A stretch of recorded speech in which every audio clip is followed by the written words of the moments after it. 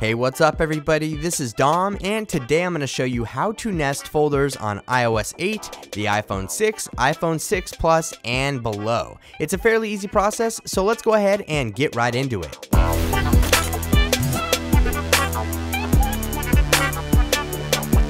So as I mentioned, I'm going to be showing you how to nest folders on iOS 8, and that is basically putting a folder inside of a folder. It's a pretty simple process, but I haven't tested all devices, though it should work on most supported iOS 8 devices like the 5, 5S, 5C, the iPhone 6, and 6 Plus. So as you can see there, we have a folder inside of a folder, and it'll just help you keep your apps a little more organized and maybe keep some other clutter out of the way if you don't want it sitting out on your home screen. So first up, let me go ahead and reverse this process that I already have set up. As you can see, I do have a nested folder situation going on right here, but it's easy to reverse that. All you have to do is drag the second folder out of the first one and drag the apps out and you are all set up and back to normal. But the process, like I said, is very, very easy. So in this example, I am going to have the Twitter app and the Hangouts app inside of my nested folder. And in order to nest that folder, I have to create a new folder out of these two existing apps. So I'm going to take the Books app, drag it over the Health app, and then quickly drag in the second folder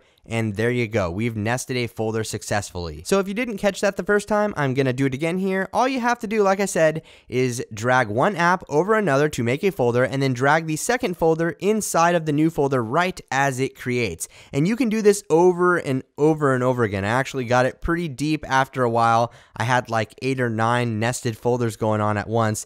I pretty much did it to every icon on my home screen, so I don't really know the limit to this, but you can also reset everything just by going to your general settings, then go to the reset category, and then reset the home screen layout, and that will spit everything back out. But like I said, you can also just drag out the folders individually if you would like. It's a pretty easy way to nest folders and keep your home screen organized in the process, and I just wanted to show you guys in this quick video. So let me know what you think about nested folders on iOS 8 down in the comments section below, and if you enjoyed this video, please feel free to leave it a thumbs up. Also, subscribe subscribe for more content like this in the future. Thanks again for watching, everybody. This is Dom, and have a great day.